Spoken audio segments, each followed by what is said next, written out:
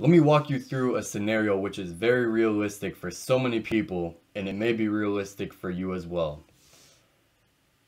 You wake up, beginning of the day, you go to school, you get back from school or work, and you have more work to do from that school or work, you know, homework for example.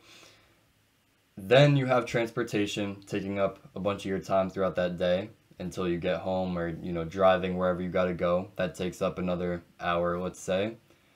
Then you have to eat, and that takes up even more time. Already, with these few things, which are things that are all inevitable for us, right? We're all going to do these things throughout the day. Every single time we do this, we are exhausted. And this happens to be what we do in the weekday. That's why so many people look forward to the weekend. It's because they have freedom from this. They don't have to do that anymore. The weekend is so free and so fulfilling because you can live however you want to live. There's no really schedule for most of us, right? Or it's a very it's a very limited schedule. We don't have to go to school for 8 hours or go to work for 8 hours or anything like that. We can do what we want to do. So, how to make the weekends actually longer? You need to get successful, bro. You need to get successful. How do you get successful? How do you have, you know, financial independence? How do you get freedom financially? Because that ultimately, that question, answering that question, that's going to lead you to having a weekend basically every single day. Because you are not going to be bound by going to school or going to work for eight hours. You are going to be working on your own terms. The reason that I'm talking about, you know, having an actual goal is because you need to have a goal. You need to identify one in order to get to that stage in order to get to the point where you are living a weekend every single day. Now, there's five categories that your goal should be able to fulfill. And it, it should probably be more than just one goal, right? It, it could probably be a few in order to go over these five categories. Number one is financially. You should be getting some sort of financial benefit from your goal because that is ultimately going to set up your financial freedom. Therefore, it makes you free okay? And just obviously having some sort of wealth some sort of financial stability it makes you more comfortable in life and definitely relieves a good amount of stress.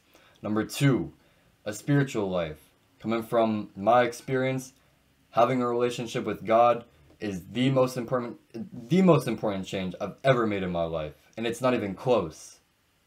Like that that's number one. That's that's that's what this should have been spiritual life right? I was just blanking on it. But spiritual life is the most important thing. So try and get better in that sense as well with whatever goal you have or one of your goals. Spiritual life so important, doesn't just set you up for your earthly time, but more importantly, sets up your eternal time with God, having a relationship with him 100%, it is key okay? And it only takes a short amount of time. You can just pray for five minutes. You could literally be praying while watching this video, just talking to God briefly. You could be talking while you're on a walk. You could be talking whenever to God because He is omnipotent. He is wherever you go, okay? So those two things right there. Number three, relationships. Your goal could basically serve as a way to gain relationships, gain friends, you know, find some sort of love. You could, you know, make a make a relationship that you have right now a bit better by checking in with them. So this goal could be something like, you know, call three friends a day or talk to five new people every single day. Something like that. Doesn't have to be too big to start out with. Could just be a very small thing. Uh, number four is health and fitness and you know overall like longevity and and all of that because if you have all these other things and you know you're you're not healthy at all, your energy is going to be decreased. You're you're not going to be energized at all to do the things that you want to do. And if you're not healthy, you're not going to live that long. You're not going to be able to live this life that long. You're not going to be able to, you know, reap the benefits of your hard work that you were able to do because you are not healthy enough to actually enjoy them. The fifth thing, and it's ironic because I literally just forgot. There there were five things though, but let's just go, oh, yeah, number five is obviously do something that makes you happy, do something that's fulfilling, something that you enjoy doing overall, right? It could just be like some sort of fun activity. Your goal could be like, you know, go out with friends every bit. And the great thing with that is that now that's also helping relationships as well. So hopefully you're getting uh, that happiness in all of these uh, four goals. I think that's why I remembered it after. The fifth goal of being happy with what you're doing, it should tie into these other four categories of benefits that you should be getting from this goal. Okay? So it doesn't need to be one goal that completes all four of these things. You could be having, let's say, two or three. For me personally, in this rule that I follow, the 80 20 rule, 80% of the benefits that I want from life come from about 20% of the activities that I used to do. Now, what are these activities? Number one, spiritual development, right? Automatically, that increases the benefits with the spiritual growth for, you know, the goal, right? Because that was one of my goals. It makes me happy and like satisfied and very, very, very fulfilled. And aside from that, I'm getting a relationship with God, which is so much more than you could even comprehend. It's a whole bunch of videos on its own, right? So that'll be, you know, other topic, other video I made videos on, stuff like that. The other thing though, one of my other focuses is obviously YouTube, right? This can provide for me in many ways. Number one, fulfillment and happiness because I know, and the reason that I started YouTube was to help other people.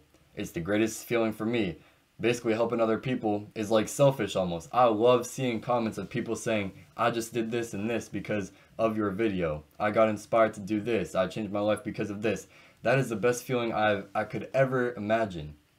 That is amazing. Seeing other people do well, that is amazing. So from making these videos and from seeing people positively review it and, you know, gain uh, a positive effect from it, that's super meaningful to me and it makes me very happy. Also just creating content in the first place, like I honestly like I'm still getting used to talking to the camera. You probably don't even know how many times I've messed up. I've been doing pretty good this video though.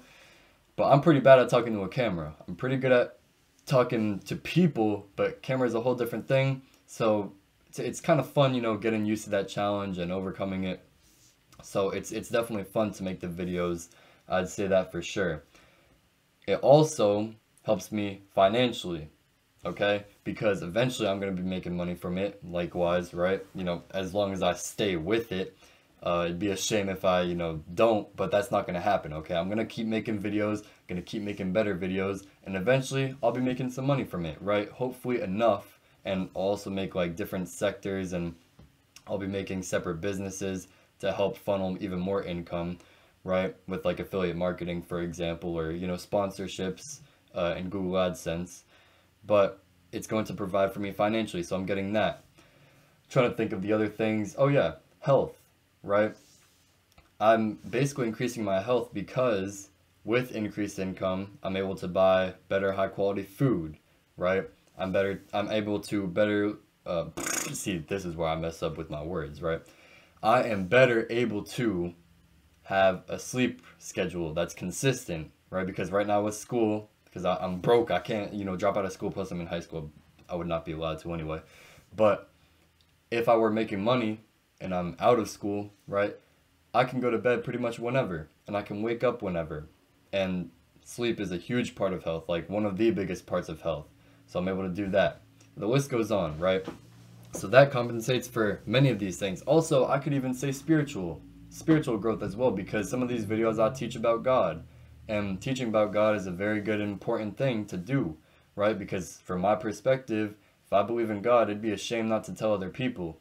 So that's a great one where I'm basically getting every single benefit and, and or benefit of the goal, each each of these five from YouTube. So it's very, very useful to do that. That is why I put a lot of focus into YouTube. And for the fitness one, you know, I've done videos like 200 push-ups. That's gotten me fit, right? That's gotten me better and all that.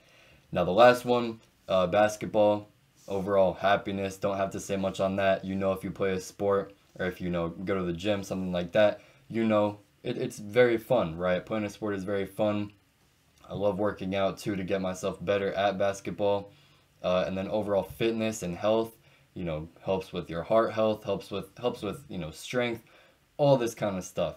You get the point.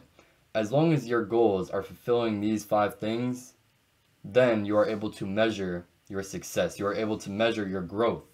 But the thing that's so bad, basically, is when you're not able to measure your growth, when you're just living, you know, school, homework, do some sort of fun activity, uh, you know, go on my phone.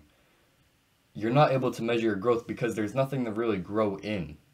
There's nothing to grow in. And at highest, at best, you know, you can get an A plus in school. But what do you want for that? A pat on the back? That's not going to get you anywhere. And you're also not going to get, it's not possible to get to an A plus plus, right? But with things like this, with measuring your goal, there really is no end. You can always seek better. And it's just more fun to keep beating it out, to keep passing your expectations of yourself.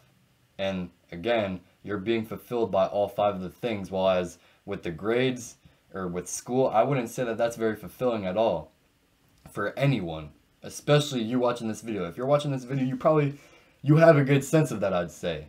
You'd have a good sense that school isn't, you know, it's and I have a video that might even be out by now or maybe it'll, it'll be out soon about why school is, you know, all kind of it's it's not going to help you. It's not going to help you, okay? Straight up it's not going to help you compared to where you want to be as a self-improvement enthusiast. All right? So having these five things, having these five benefits, and then figuring out your goal, identifying your goals, that's very important because you can measure your growth. And when you can measure your growth, you're going to feel more fulfilled. You can go to bed at night being like, I just got so much better in this category, or I got better in that category. I'm that much closer to this goal. And that's the best feeling. That I mean, I've already said best feeling of whatever I was saying before, but there's so many good feelings with all of this. That's the great thing you go for goals, you actually have some sort of incentive for your life, you have a purpose driven life, and you're going to have every single feeling is going to be great. You're going to be a lot more fulfilled in every single area. So I say, oh, that it's the best feeling. It's because it is. But there's like 50 different best feelings. Okay? So, and that's why I'm so passionate about making these videos, right? I learned about this myself, and I'm like, how could I withdraw this information or not tell someone about it? I know how much it's helped me. I know how much I'm happy with my life because I've adopted these things. I've set out goals for myself. So I got to teach it to you. Why would I not? Right? So now, now I actually want to help you identify that goal. Okay? Because I don't want you to be aimless. I don't want you to just use this video as entertainment. No. I want you to actually gain a benefit from watching these videos. These videos are to help you get better and get closer to your goal if you're watching this for just entertainment, it's pointless because this video, all my videos, have a message. Each message that I bring to you, I hope that you can actually put that, input it, and use it for yourself to get closer to whatever dream you have. That's the goal. That is the goal of my channel. It's to help you. But if you're just watching this as entertainment and you don't take, you know, any any note or any idea of what I talk about, it's pointless because my videos would just be wasting your time. You should be watching my videos actively thinking, how can this help me? And if you got to take notes for it to do that, go ahead. Please, please do that. That's how I've gained a lot of my knowledge. I take notes on stuff. I can't remember everything. No one can. Writing stuff down, it's so important to do. So now for you, basically what you got to do to get to this goal, to identify goals, is you got to identify a problem first. Or you got to identify, number one, honestly, what you want to be able to do in life. From there, now you can make a plan on how you actually accomplish it. If there's an issue, let's say your health is really bad. Say, okay, what can I do to fix this? There's things like diet, there's things like sleep, there's things like fitness. Now you say, all right, I have these three things. What do I got to do now? make a plan for how you actually help all three of these things. First thing could be, all right, I'm going to set a bedtime and I'm going to set a wake up time to ensure that I'm actually going to the bed. I'm going to bed at the same time every single day, right? And that's that's therefore going to help you with sleep. You could say, all right, my diet plan is going to be this, this, and that. That's going to help you with the diet. And I'm actually working on that myself too. I'll have some videos on that in the next few months because that's kind of like the stage I'm in right now. Honestly, not too proud of my diet, right? And I'm trying to develop as many things as I can. So I'm excited to bring it to you because also that's going to help you realize that you do not need to be perfect. Some people look at me in my videos and are like, oh, you know, you, you have like no flaws or something like that. And it's like, no, I'm just like you. I'm just trying to improve myself and you should be trying to improve yourself. My diet is probably worse than yours, honestly. Like it's not good. It's not good. It has like no no restrictions and it has no like like I just eat whatever, right? So I'm at the stage right now where I'm at zero. I'm where you are. You might even be better than where I'm at. So if I'm able to get a lot of good results within this next coming year, then there's no excuse for you not to be able to do the same. It's just that I have a plan right now. So that's why I'm saying for you, you gotta actually make a plan. What was my personal plan? I hired this guy on a website called Fiverr, and he basically ran me through all this diet stuff.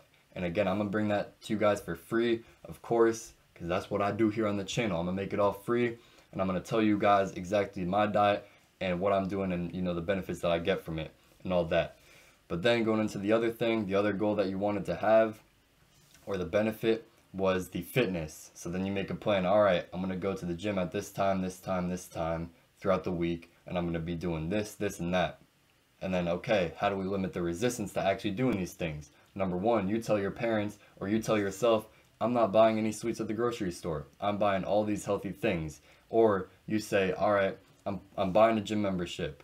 That way it makes me go to the gym. Because if I don't go to the gym, I feel like I just wasted all my money, right? Limit the resistance or increase the likelihood that you are going to accomplish these things. Then ultimately, it just comes down to you doing it. That being said, you are going to find your purpose so much quicker. You are going to see meaning in your life. But when you are aimlessly living, when you are just existing, you are not going to see that purpose that you truly have had all along.